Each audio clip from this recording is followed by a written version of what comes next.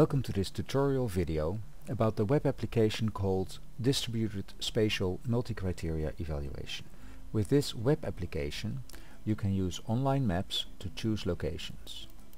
For instance, where you would want to live or start a business.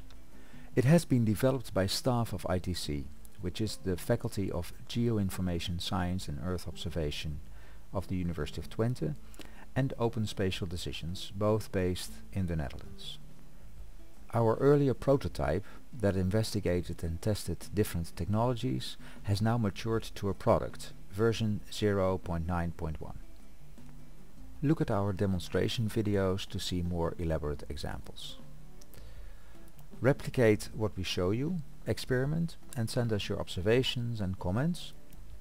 Share with your colleagues of course and friends and drop us a line if you are interested implementing it in your organization we will show you the decision problem, how to start the application, how to look at the spatial data, how to structure your decision problem and how to look at the results.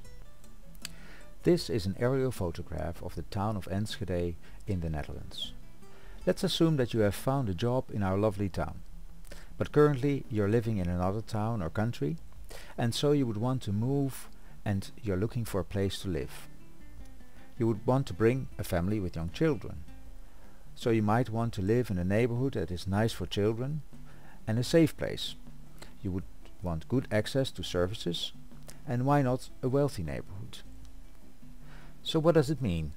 You probably would want to live in a place with many other children and maybe with playgrounds. And how about access to supermarkets or banking services? And maybe you would be interested in some crime and traffic accident statistics and a neighborhood with a nice average income. For this tutorial we have downloaded several of such statistics from a public web service of our municipality.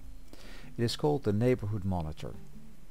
We have offered it again as a web service using the open standards of the Open Geospatial Consortium.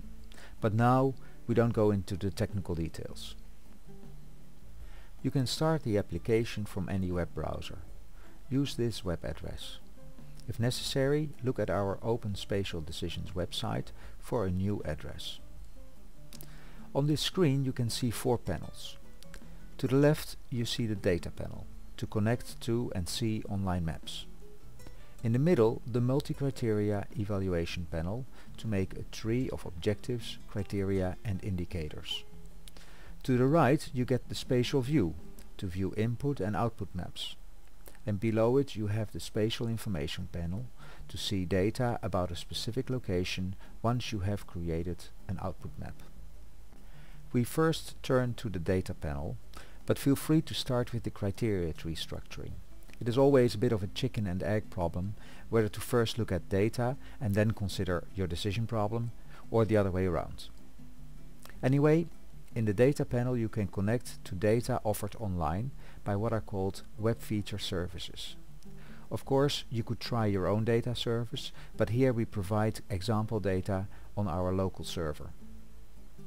You enter the address of this service and click on Get Data Info. From the service you will receive spatial service identification information and a list of map layers. Each of these map layers carries information about the layer which you can access by clicking the information button. We are interested in the data layer about neighborhoods of Enschede. Let's remove this pop-up and click on a link of a map layer and receive a listing of the indicators available in that map layer. An indicator link will open a pop-up window in which you can retrieve the data with the Download Indicator Map button. The web application now loads spatial data and calculates descriptive statistics. With this pop-up window you can assess whether it is worthwhile to use the indicator. For instance, if the average age is the same in all neighborhoods, the indicator age is not useful to distinguish between neighborhoods. I have closed the pop-up window You can now also drag and drop an icon of the indicator map onto the spatial view so that you can see where different neighborhoods are. You can zoom in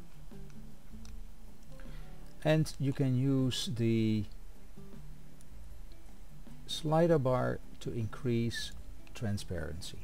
We have built in these steps of data exploration to avoid automatic loading of useless indicators, which could be demanding on bandwidth of internet networks. But if you know the data, you can download them, as we will show later, straight into the criteria tree. Now you could browse the indicators. As you can see, I have loaded the indicators that I think could be of interest to our decision, such as the average age, percentage of high-income households, the distance to banks, schools, markets and playgrounds, but also social problems reported to the police and traffic accident reports. Next we turn to the Spatial Multi-Criteria Evaluation pane. Let us formulate our overall goal, objectives, criteria and indicators. Our goal was to find a good neighborhood to live in, so we type we want to find a good neighborhood to live in.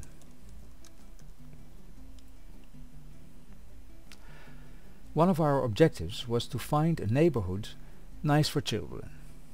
So we add an objective and we type we want a place nice for children. But how do we find such a place? Well, let's formulate criteria that tell us whether a place is nice for our children. So how about the younger the average age of the neighborhood,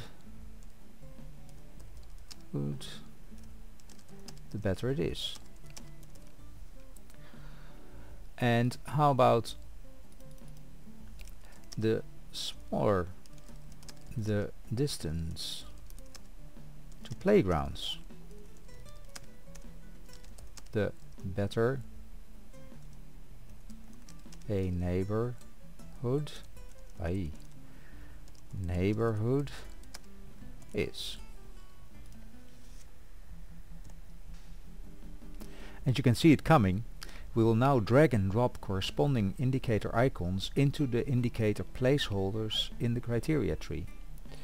So let me first drag and drop the average age indicator. And then the distance to playgrounds indicator.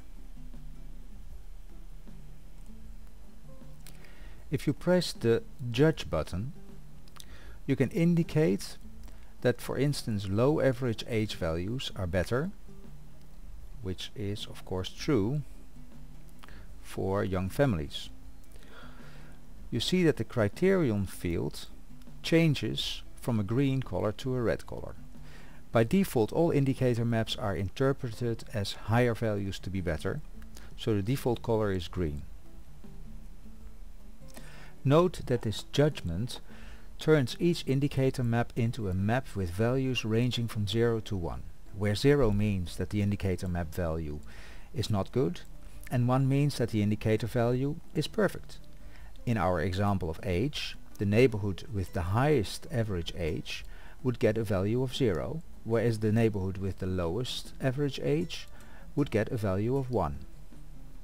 And by rescaling each of the indicator maps to the new scale from 0, meaning bad, and 1, meaning good, we make all these indicators that originally have different units, such as numbers of years of age, um, distance in meters to playgrounds, we make them comparable or we standardize. Also note that there are many different methods to standardize data. As you can see from the pop-up menu, we have only implemented one method so far, which is called maximum standardization. Others could of course be implemented too. And here we evaluate that playgrounds should be nearby. Finally, we can assign priority or weights to these two criteria. In the current version of the web application, the rank order of objectives and criteria determines the weight calculated. Here too, many methods exist to assess priority and these too could be implemented. So if we want to change importance of our criteria, we have to click on these arrows. We have now formulated the smallest possible spatial multi-criteria evaluation problem and let's have a look at the result by clicking the calculate result map button. In the upper right corner you can see that the application is processing the calculation. Let's decrease the transparency and this result map shows the better neighborhoods in light orange less satisfactory neighborhoods in orange and unsatisfactory neighborhoods in red. Click on the map to see the values of average age and distance to playgrounds in the spatial information panel below. This result was calculated by multiplying each standardized indicator map with its weight and then summing these weighted standardized indicator maps. This always results in a map of index values between 0 and 1 where a value of 0 means that a location does not achieve your goal and a value of 1 means that a location fully achieves your goal. So in this case there is no neighborhood that is ideal but there are better and worse neighborhoods. Now I have added the other objectives, criteria and indicators. We want to live in a safe place. We want to live close to services. And we want to live in a wealthy place. Let's look again at the results.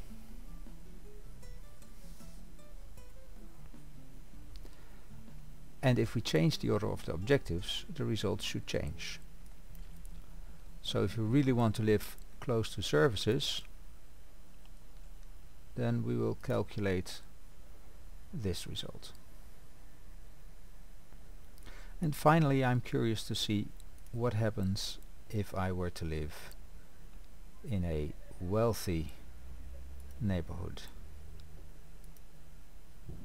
And let's calculate the result.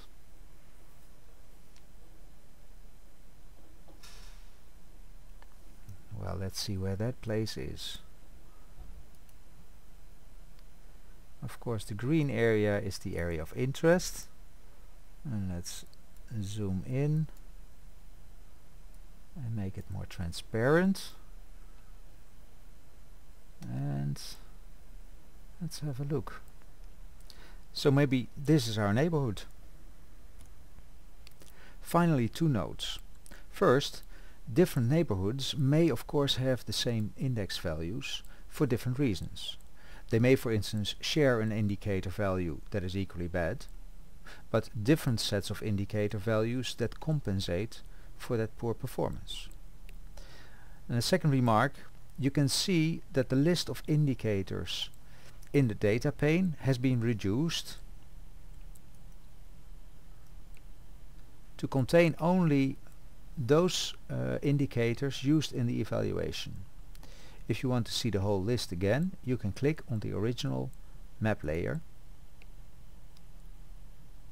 and expand your problem definition and add new indicators to the criteria tree.